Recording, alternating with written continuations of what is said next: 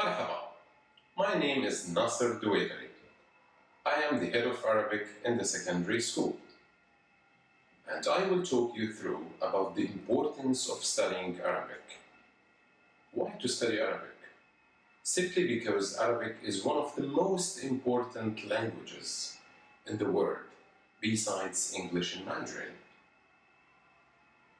Learning Arabic will open up for you whole world of opportunities, as well as establish a deep connection with cross-cultural friends in your school and in Dubai. If you speak Arabic, you will be in an extremely adventurous position job-wise in a few years to come, as the economy is coming to the region. Arabic will help you learn the Middle Eastern culture and equip you to make strong key personal and business relationships. Let me now talk about our program. The person at Excel GCSE Arabic offers two different tiers, the high one and the foundation one.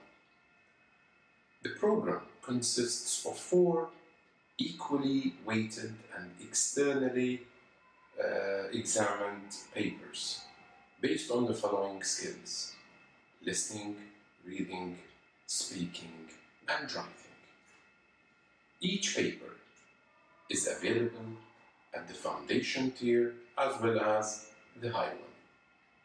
Students must be entered for a single tier across the papers, and once they choose a level, they can't change to another one.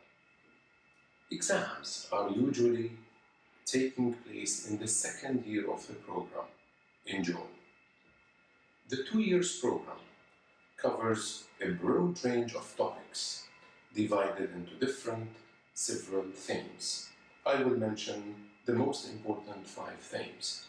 Students will learn about identity and culture, school and life at school, local area, holiday and travel, future aspirations, study and work, international and global dimensions.